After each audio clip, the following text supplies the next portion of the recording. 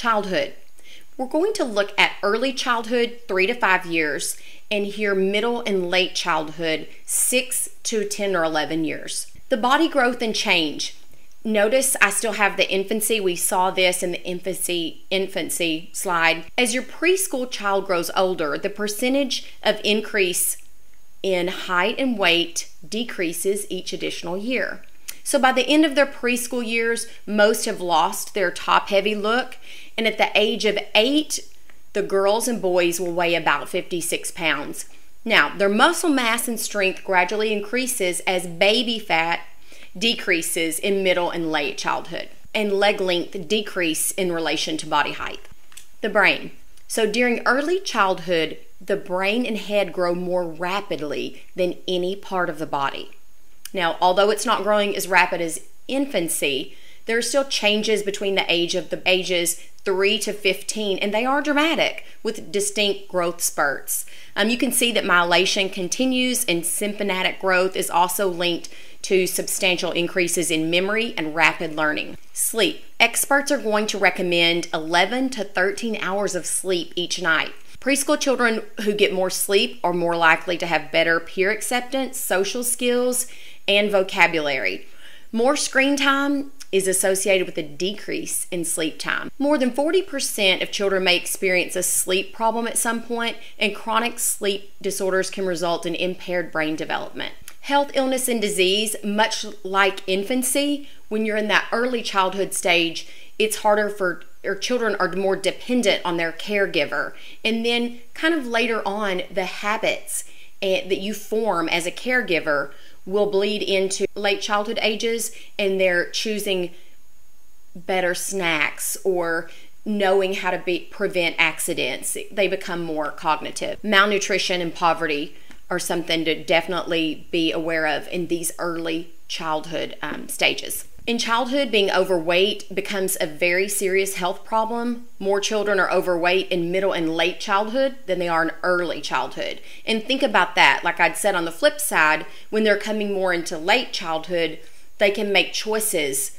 And whether those choices are good or bad, if they're bad, that can lead to childhood obesity. And then consequences can increase um, risk of many medical and psychological problems going both ways with malnourishment or obesity.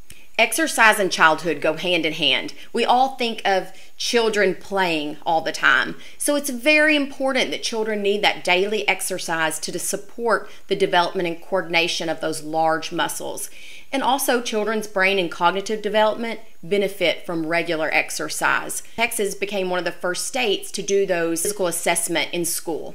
I don't know if you'll remember that 2007 it's 20 maybe you might remember those. Substance abuse in childhood um, again this goes back to the parental use and maybe what's available or what's laying around and are they taking that by just not being watched or how does that come into play in childhood? Toward those later childhood years depending on your environment could also impact whether children um, partake in substance abuse. Here's a link and i this is a great article, and I'd like for you to take a look at that from the slideshow. Childhood motor development. Young children enjoy simple movements for the sheer delight of just performing activities. Um, some examples might be hopping, jumping, running back and forth. Again, think of just children at this age, three to five years old, just kind of all over the place. And then it also gives them kind of a sense of pride and accomplishment. Children get older, their fine motor skills definitely improve. They begin to use their hands more successfully as tools. And then at age 10 to 12, children become to show manipulative skills um, similar to the ability of adults. Their perceptual development continues, it just moves forward right through infancy into childhood they definitely become more um, increasingly efficient in detecting boundaries between three and four years of age. But by the first grade, most children can focus their eyes and sustain attention effectively to close objects. Here's our connect and reflect. Make your notes here and then make sure you have those available for your Module 2 discussion. That's a wrap for Module 2 and me. Now it's up to you to continue on with your Cornell notes, taking each stage of development piece by piece and putting those together so that you can refer back to them at the end of the semester for your final case study. Have a great day.